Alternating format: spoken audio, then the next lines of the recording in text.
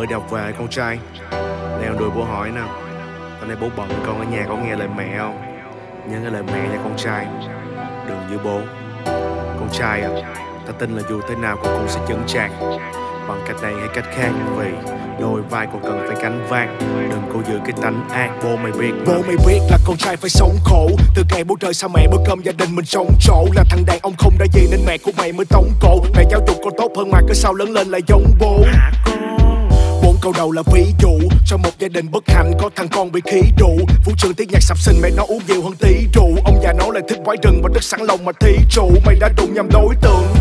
Là không muốn được yên thân. Người đời ác hơn trên nhạc, Black ca hiền hơn thiên ân. Mày bữa đó tao chân đạo, Không là mày đã trục xác. Hàng mà còn tiếp tục rap Thì trong freestyle chỉ kẹt được cục chỉ là gà không nghiệp Muốn tiến hóa thành thiên nga Mà không kiệt Mày khiến bọn nhóc qua lần phải khóc Nhưng rồi nước mắt phải gạt đi Từ khi thần tượng nó quyết phải lên showbiz Và fit với đợt chi Bố mày biết mà Bố mày bố mày biết mà Bố mày biết mà Bố mày bố mày biết mà Bố mày biết mà Bố mày bố mày biết mà Bố mày biết mà con trai Bố mày biết mà Bố mày bố mày biết mà Bố mày biết mà Bố mày bố mày biết mà Bố mày biết mà Bố mày bố mày biết mà Bố mày biết mà con trai con trai à Bố thương mày nhiều hơn nói. Trong bầy mày là cụ đen nhưng đéo có kể là liều hơn sói. Mày là lao động phổ thông thì còn lưu vong ở hải ngoại. Bị thằng xếp tay coi như con ngoé nhưng thách thằng bé dám cãi lại. Uhm, Chút áp lực lên mic. Mày chửi công an để tạo hit lấy được lòng dân ngu Cụ đen. Thằng con quyết định sẽ xạo tiếp.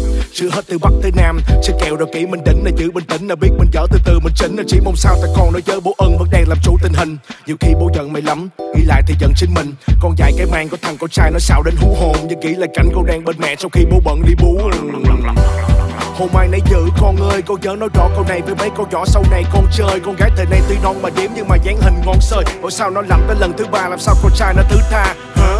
Đây không phải là cách hành xử của người trưởng thành. Từ cách ăn mặc nói năng gần đây nhìn sơ cứ tưởng ngành. Xin lỗi con lần bố cưỡng hành, Nỗi sợ hình thành trong gen. Bố nhận một phần trách nhiệm, Cứ vì con như mình không quen. Bố mày biết mà, Bố mày bố mày biết mà.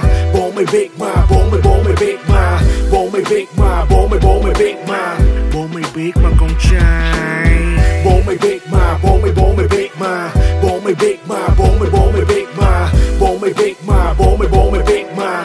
Bố mày biết mà con trai Tao đã từng, Thực sự, nhiều lần muốn chuyện này lắng, Nhưng bản chất một con đi chó chỉ cần đánh việc là mày cắn.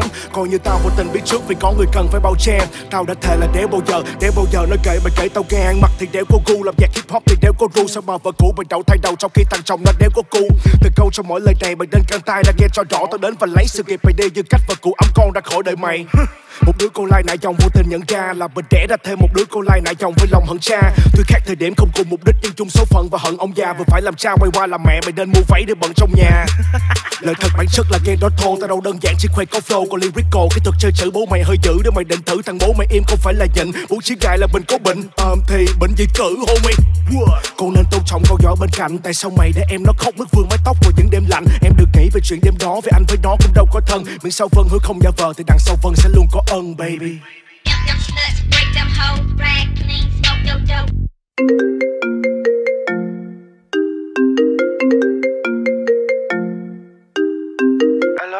ai vậy?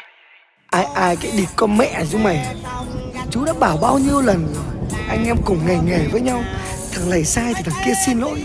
Thằng kia sai thì thằng này xin lỗi. Lớn rồi có nên mạ chỉ nhau để ảnh hưởng đến người lớn à? Chú là chú công ty cũng trả sữa nhiều đâu. Thế nhá.